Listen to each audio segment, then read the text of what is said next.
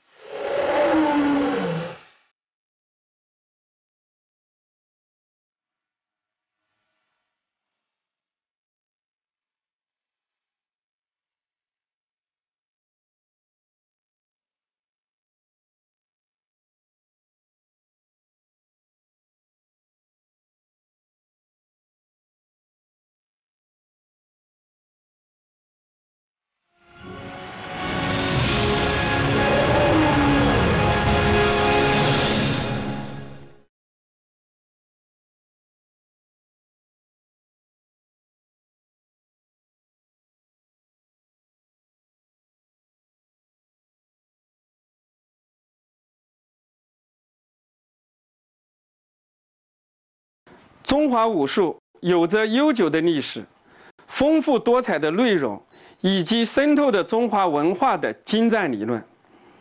中华民族把武术作为技技术，通过武术锻炼，掌握和提高防身自卫的技能；把武术作为健身术，通过武术锻炼强健体魄、益寿延年；还把武术作为修身术，通过武术锻炼。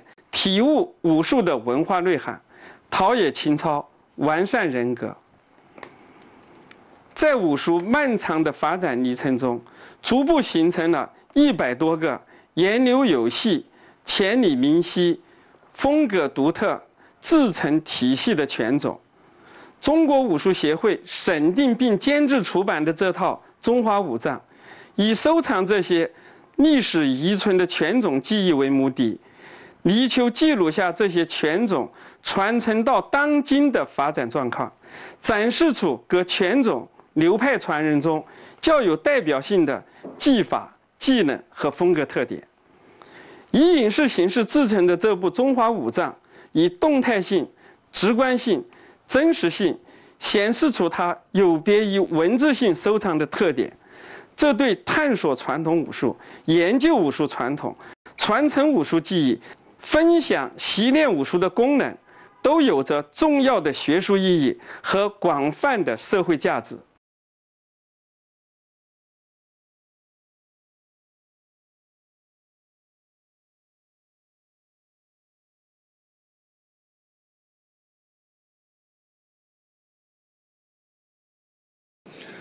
武术啊，是中华民族的文化瑰宝。也是几千年来中华民族嗯用于健身和自卫的个法宝。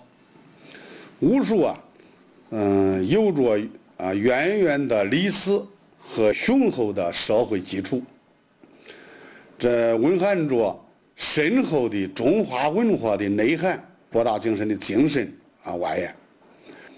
嗯，为更好的武术普及、提高、发展。根据国家武术运动管理中心的统一安排，在全国各地啊拍摄中华武藏，嗯，也是更好的收藏武术基因，嗯，激活传统武术的魅力。嗯，拍这一次的中华武藏啊，作为少林武术啊，嗯的发展，应该说少林武术啊。是中华武术当中最大的一个流派。目前我们国家虽然说拳种有一百三十多个，但是像少林武术目前，嗯，这不管是在国内发展也好，在国外发展也好，嗯，以及延伸到整个武术的产业方面，应该是在这个武术所有拳种等权种当中都起到了领头羊的作用。这一次中华武藏的拍摄，我们登峰，嗯，也选出了我们的十大拳师、十八金刚、十八罗汉，嗯，这些拳师也好，金刚也好，罗汉也好。也都是我们少林派公认的，啊，也是技术比较过硬的，啊，应该说也算是我们这这这这一派的当中的吧代表人物啊，代表人物。因为武术啊，以及它独特的优势，目前呢，嗯，已经成为嗯这个市场经济发展产业中的一匹黑马，啊，一匹黑马，是独领风骚。包括我们少林武术，啊，目前呢也正在，呃，向这方面继续努力。不但要把少林武术这个传统这个武术发扬下去，更主要的就是利用这个传统的武术啊，培育这一个大的市场。我想着，通过这中华武藏的拍摄呀，也为整个武术产业今后的发展将会。起到更大的一个推动推动作用。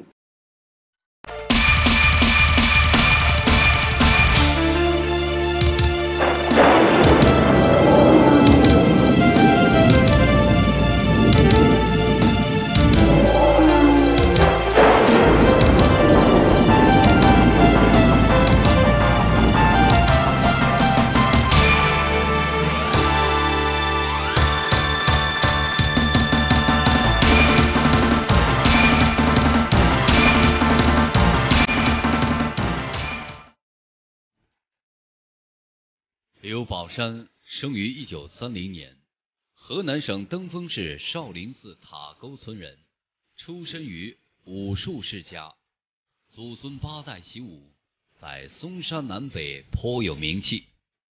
宝山六岁就跟父亲刘景文习少林拳和十八般武艺，十二岁学完了家传的长护心一门、七星拳、炮拳、六合拳。六合棍、齐眉棍等三十余套少林拳械。后来随父亲少林寺院得众僧点化，学会点穴、擒拿、气功等绝技真传，并多次受到著名武林高手灵斗、妙心等秘授和指教，终获超群之武功。刘宝山大师为了继承先祖父，要弘扬少林。为祖国、为人民争光的一志，从一九五零年就收徒传技，手把手的教儿子海清、海科和众徒习少林拳招及十八般武艺。电影《少林寺》上映后，全国出现了少林武术热，每天都有省内外青少年登门学艺。为了满足武术爱好者的迫切要求，于一九七八年春成立了少林寺塔沟武术学校。刘家父子以高尚的武德、严明的校纪、超群的武功、精心的培育，使塔沟武校隐喻全国。他的学生多次代表省市国家参加国家级和世界武术竞赛，曾二十六次夺得冠军。获金牌总数已达一千枚。刘宝山被中外武坛赞誉为少林宗师、武林楷模，塔沟武校的规模和教学质量均列世界之最。刘宝山大师现为中国武术九段，二零零六年七月被国家相关部门命名为少林拳杰出传人。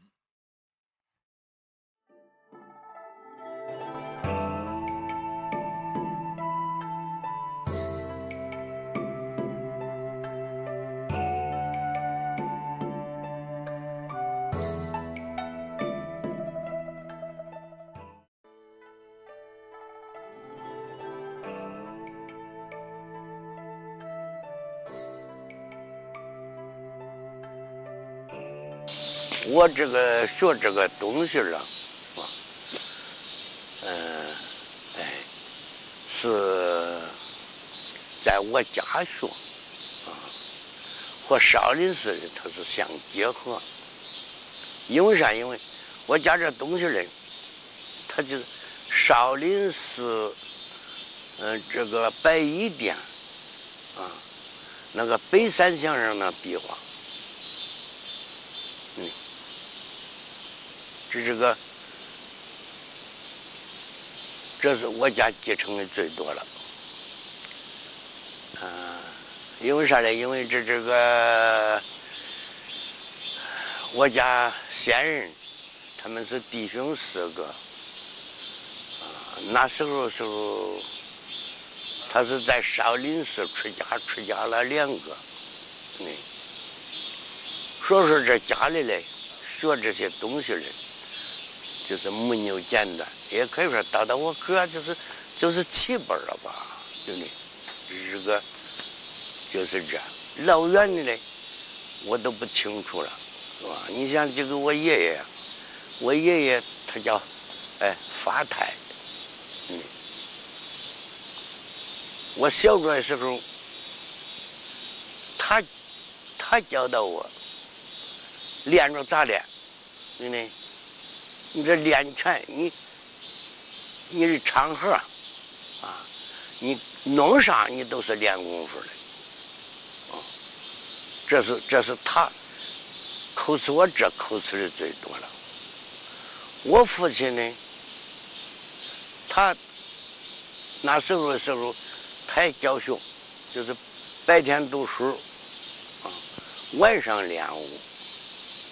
那时候，国民党那时候的时候，这个这不叫拳，不不叫武术，兄弟，他是嗯，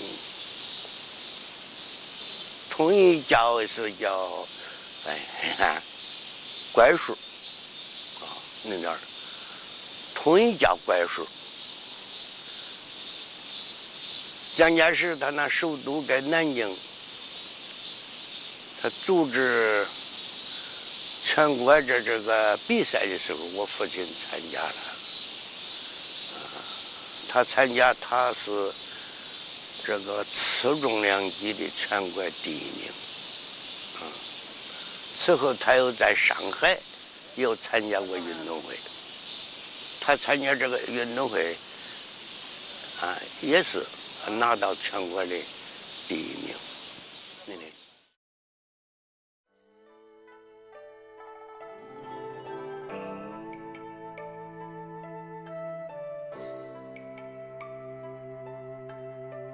我爷爷，他那时候教导我的是啥呢？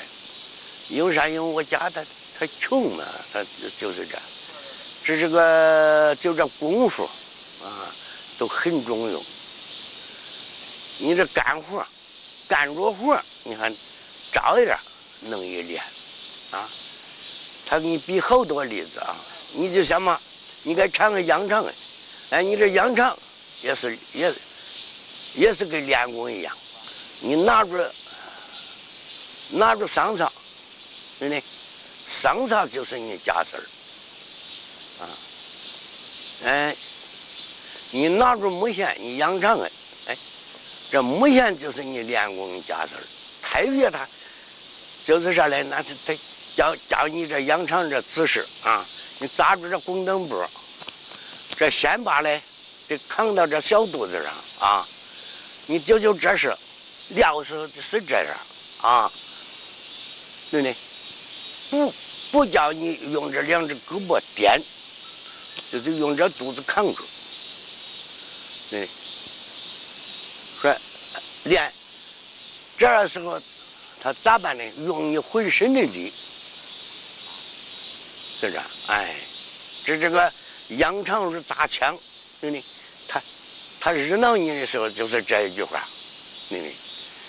啊，你锄地的时候叫你砸砸钉子步，对不对？叫你是这样去练去。啊，你说你要是多少闲一会儿啊？哎，你拿着铁锨呢？哎，你给他当大刀，你给他当啥嘞？波波浪浪一条驴呢？他那时候，他拜年呢，是这样拜年。班里读书和老连着，对对对，我那那老小往里跟啊，我去学里去了，我也给他们搁到练嗯啊，给这搁到了，给那个搁到嗯啊。回后来，我父亲去世了以后，嗯。哎，我父亲教那学生，嗯。好些又把他忘了。嗯。哎，过年了，过节了，嗯，他们都去找我。对对对，哎，找我搁到一堆儿来吧，嗯。吃那宝贝味来吧，咱成哥们儿成哥们儿。了。对，哎，熟悉熟悉，哎，练练，嗯。啊，就是这样。再有啊，那家也不是老穷，嗯嗯。你这村弄上，你还得吃饭，是吧？对，哎，你再死亡，嗯。